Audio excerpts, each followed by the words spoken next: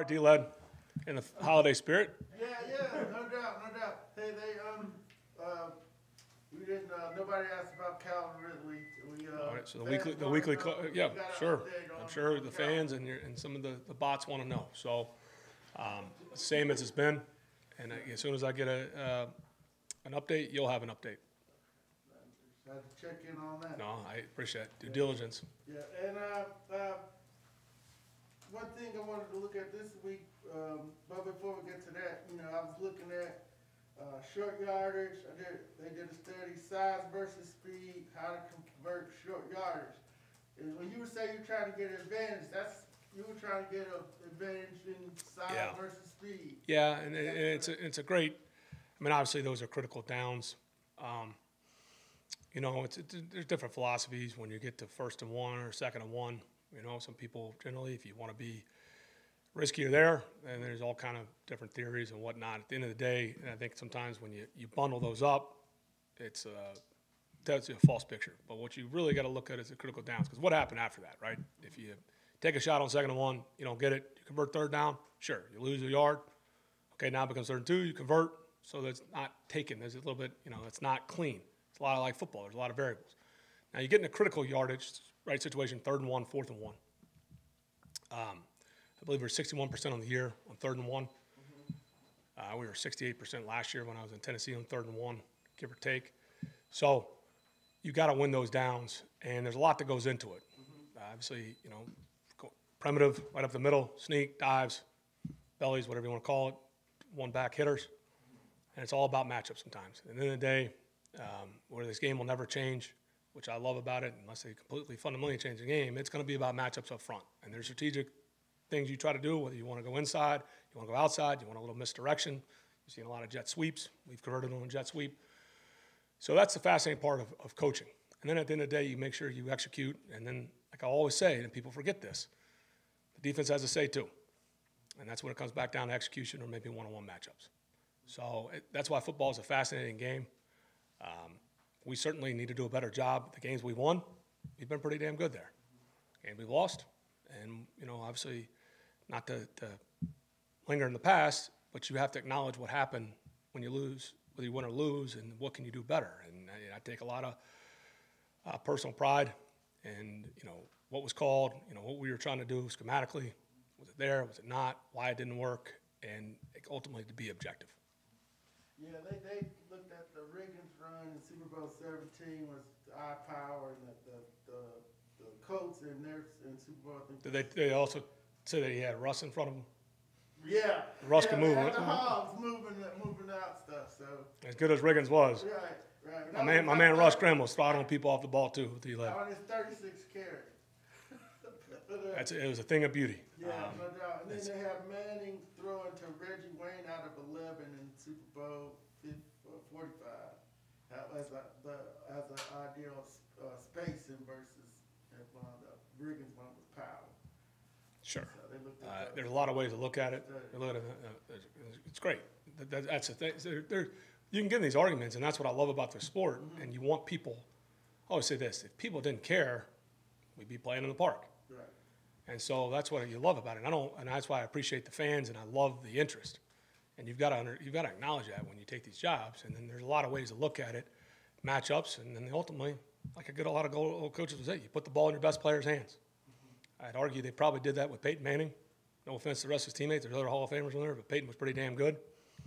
And uh, so was John Riggins, and those those those guys up front, Russ and the boys. So um, a lot of ways to look at it. It's the same thing when you get into analytics and the math equations, you get into win probabilities. What is the difference between 1.2% win probability and 2.0 win probability? You can frame the narrative, damn near doubles your chances. Um, you know, so there's a lot of games you can play with stats and, and analytics and win probabilities, and uh, you've seen it, um, you know, work really well, and you've seen it blow up people's faces in, in the games or you know in playoff games. So that's what makes this game fascinating, and ultimately you get paid to make the right decision for your team, and that's what you got to live and, and die by, or you're judged by. And what will be the key, uh, to getting the rushing attack to rebound against Detroit this week? They, uh, y'all twenty-seventh, they're twenty-eighth, looks like a good matchup, but Anzalone's out over there. Yeah, it changes week to week. I mean, I, understand that it does, you have to have context in the big picture, and we understand where we're at, and we'll work to improve, uh, week over week. And certainly, um, as you get into it, again, we, we thought we had a pretty decent three-game stretch, produced two wins. Um, and then obviously San Francisco, and I've said it before, and we'd like to get, move on to Detroit. But we need, we need to execute better, and there's gonna be a challenge every week. Detroit's coming off, they've won two of the last three. The, that team plays extremely well. It doesn't matter who's out there, everybody's dealing with issues, whether it's injuries this time of year, um, flu illnesses, COVID. I know this, Dan Campbell's team will be ready to go, and they're gonna play hard. Michael. Thank you, Dylan. Uh, Where's Tajae Sharpe at with, Yeah, so uh, Tajae, uh, he'd be day to day. Uh, You know, those things will be tricky, but he won't practice day. We'll continue to evaluate him, and we'll just have to see. what do you, I, at this point, receiver wise, does that end up being OZ? Does that end up being like Christian Blake? Is this what, an opportunity where Darby gets run or? Just depends on the guys practice. Uh, You know, we have a plan. Those guys have been resilient all year. We've had guys step up in big roles, and uh, no matter what's come our way. So continue, that, that group to me is underappreciated, some of the little things they do. Um, So we'll just see how the week goes, but we, we got a lot of faith in those other guys. How do you, how do you prepare for a team when their quarterback is in the COVID protocol? Because it, it, it's different than if it's an injury because he could go Sure. here and come back at any time.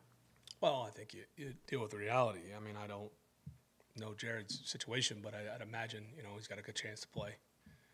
Um, so you got to prepare that he, he will play, and then, you have your contingency plan that, you know, if continues to trend against over the week that he doesn't. Um, but you always got to be aware who the backups are.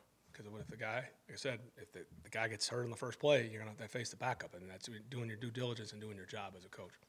As far as what Kyle's done this year, how would you assess the first, you know, I guess, what, fifteen weeks for him, fourteen games over?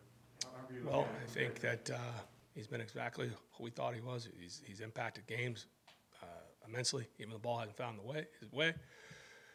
Um, he's, like I said, he, he, he's not even scratching the surface, guys, and he's going to have a really productive year. So I think that's stating the obvious. I- Is there something that maybe he's done, that, like somebody, you know, like lay people, like that don't, you know, don't li- study football every minute, every day, Mhm. that he's done that's really maybe been way better than what we see? Is, is that part of it? Yeah, I mean, I think really good players make the really hard look easy. And just watch some of those down the field catches. That's just not normal. Even the one um, we threw before halftime that Thomas had that he ripped away and damn near caught. I mean, that's just just shows you a, man that size, his spatial awareness, and, and body control. Uh, to me, that's impressive. I know when you're watching on TV, you know, you expect it because he's a pro, a professional athlete. Uh, a lot of these guys, and there's a lot of good players in this league. When you watch them, it's most NFL players can't. You know, they it's a hard play for them, and then for the layperson, it's damn near impossible. And that's why I think you, uh, and that's all across professional sports. You know, you sit there and you watch Steph Curry hit, shoot a three, and the release, the, the thing of beauty, the reps that he put into that um, it's just so damn impressive when you see it up close. And, you, and, you, and sometimes you just hope people don't take that for granted when you're watching some of these professional athletes. So, like I said, he's got a ways to go. He's a rookie. He's 21 years old. Uh, he works every day. He's got the right mindset, and I'd argue he's just scratching the surface. Off a productive year with three to go, that he should impact and hopefully plays better. And that's not a negative. It's that's the goal. Justin, going back to the Lions, you mentioned, you know, playing hard, and it's a, a really tired NFL cliche of being better than your record, but two out of the last three wins, just beat a team contending for the top seed. Just, are they kind of the quintessential case of that? I think that's every team in this league because that's what makes pro football what it is. Is you can't. There's not 82 games. You know, you're off nights. You can't sleepwalk through it, or you'll get exposed. Uh, you know, not only score but physically. And I think what you're seeing with a team like the Lions, who have been resilient, there've been a lot of close games, and they broke through and, and they believe, and that's a that's a sign of a, a culture being built. Um, but if you're not ready to go, that's what I said, that doesn't carry over. Like, we felt better about our run game. Doesn't mean we're gonna, we had to play well against San Francisco against those matchups. Well, we didn't. They had a say, and we'll continue to work. Doesn't mean it's catastrophic. Doesn't mean it can't change this week. So I think if you're not ready to go, it's the hardest thing in life to do is to sus- sustain, especially in, in the National Football League, there's, with all the variables. And, you know, you, you said right after the game, you know, uh, playoff odds, whatever they are, you guys are gonna compete every game. How much though is, is getting things turned around at home Atlanta in front of fans, you know, a point of pride? Sure, we take a lot of pride in that. Uh, it's not lost on us. I mean, uh, again, I, uh, you know, I, I think it's always comical when guys get up here and they act like their heads in the sand, like they don't. Like we, we know it. You acknowledge it, and again, every one of those situations, uh, they happen, and, and you gotta you gotta own that. But doesn't mean that what you don't want to because those five happen, that really will have no impact on Sunday. Will have an impact on Sunday if we prepare, we practice well, and we got the right mindset, and we can go out there and execute and play. But it means a lot. Uh, our fans have been great. They've showed up on the road. I love the passion of our fans, and we need to reward them with a home win. That's not lost on us. Josh? You and Dan Campbell share any points of contact, any? I've met him a few times. Like a lot of people in this uh, business, you got mutual friends. Know him a little bit. Got to know him on the uh, workout circuit last year. Got a ton of respect for him. Um, really good coach. Really good, really good person. I appreciate the way, the style his teams play. I was gonna say, on the surface, you both seem to really appreciate the physicality as, as the foundation of the whole thing. Is that your view as well, that you share that? Yeah, I think a lot of coaches do. Um, but, you know, maybe, maybe there's a similar philosophy there. Um, but, but, you know, Dan was a, was a great player, tenacious player in this league, tough guy. Uh, you know, he, so, and you see that you've always watched his tight ends play. I was on the other side when he was the interim, first game in Miami, and they came into Tennessee and got after us. Uh, got a ton of respect for him. You want, you wanted to build this team in such a way that end of the season, your physicality is showing Sure. through, is, is becoming an advantage. From what you see, do you see that playing out? Do you, do you see that that's, Yeah, I, I, I for you know, we obviously um, wasn't we won on this past Sunday, I but don't even mean no, game to game, I just mean Sure. look these guys on a Yeah. Or, or not Tuesday, a Wednesday or a Thursday, do you feel like that's coming? I do. Yes. Charles? I wanted to ask about, uh, uh, Marlon Davidson, who had the illness that popped up Saturday. How is he, how is he progressing? He's here today, and hopefully practices. And um, as I said, and that's part of this job. You got to deal with the unexpected and and deal with the with it as it as it comes. Like we'll have two guys a day that are there's other illnesses going on, regardless of what you know is in your face, 24/7. There are other illnesses going on, so we and we'll be mitigate our risk, and we'll have two players not practice today. Doesn't mean that they, you know, we'll have them on the injury report. It's not COVID.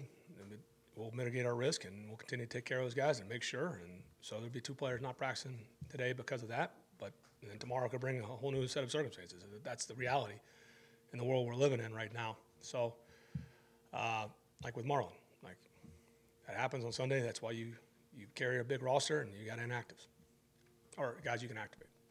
I Also wanted to ask about uh, Felipe Franks and what you've seen from him this season and, and him, uh, being active the last couple of weeks. Again, a lot of it's not necessarily uh, just for Josh. Felipe can play multiple roles for us. Uh, he's been a valuable roster member for us. Uh, continues to work extremely hard at his craft at quarterback. I think it's rare when you get a guy in there. He's gone in there and played special teams. Not a lot of guys would be willing to do that.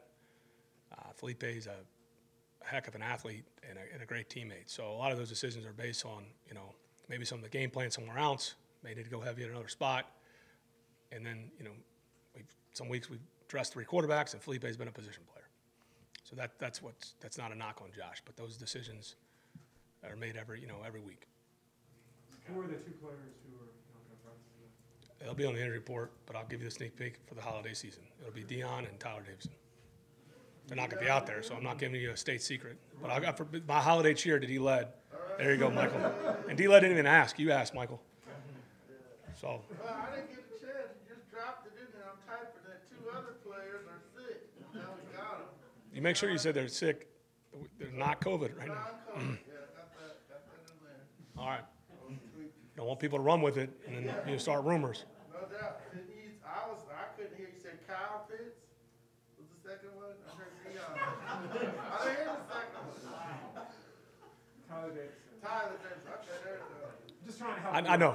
I know. My, my wife gets on me sometimes about talking too fast, and maybe I don't enunciate.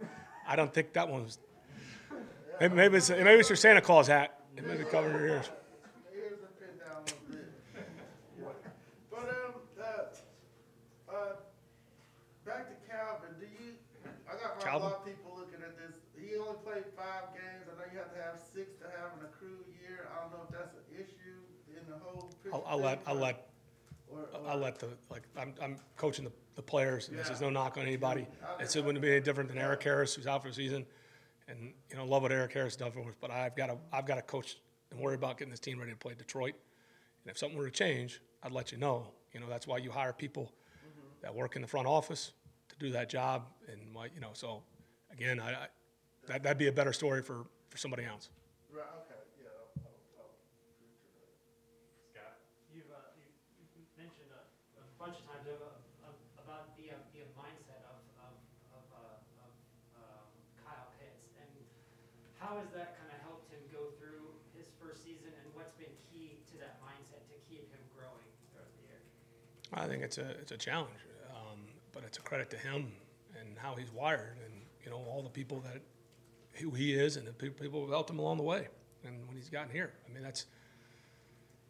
Uh, know, I know the easy thing is, hey, you're professional, you get paid, but um, you know, some people can't handle the hype that goes with it. I mean, there's great responsibility when you take somebody there, and Said today, we're in the most sensationalized uh, era of so- society because of the way the information travels, good and bad. So, you know, some people, they can't handle that hype. And that's what we've tried to, to focus on reality and kind of staying neutral or stay in the middle, however you want to phrase it, to improve every day. Because you have good games, and like I said, they want to they want to uh, go ahead and give you a bronze bus for Canton, and then you have your bad days, and they want to make sure that you know you're um, playing in the Arena Five League. So it, that's why it's just important to have that mindset. And it's easier said than done. It should be like, okay, everybody should do that, but we're all human. So, and, and that's what you're you're fighting every day. What was, you, back in the interview process for this job, you, you also talked with Detroit. What was that process like for you? Because I, if I remember correctly, you were supposed to maybe have a second interview there and then it ended up not happening. Well, I, I, I really appreciated the opportunity to talk to Detroit. Um, there's great people that, that, run that organization. Um, and I, again, I just focus on what my circumstances were and the opportunity I had, and thankfully it led here. Um, I think they, they got a hell of a coach at GM, and it, it does, I don't know what would you know, have happened. They, they made a good. I just dealt with what my current situation was, but I was always thankful for that opportunity. When going against Detroit, how do you prepare your team against a team where maybe their record doesn't show how their grit and play is, but you know you have to be on your P's and Q's just because they have a lot of grit.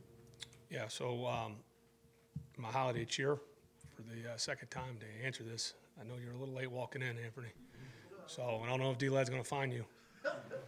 Uh, it's a National Football. The short answer is National Football League. You better be ready to go every week. I didn't say it. D-Led said that. I don't. I don't.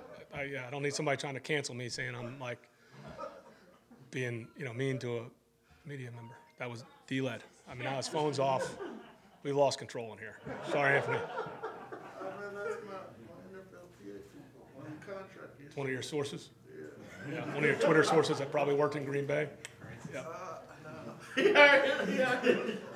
No, hey, I mean, you, you didn't even give me a good Green Bay name drop, whether you got it off, off Twitter or you called, talked to one of your old thing, I- yeah. I- Yeah, I used them all up. I mean, I saw I'm sure you did. A lot of Green Bay, Detroit, though, a lot of that. Uh, Detroit didn't win too many, but, uh, good games.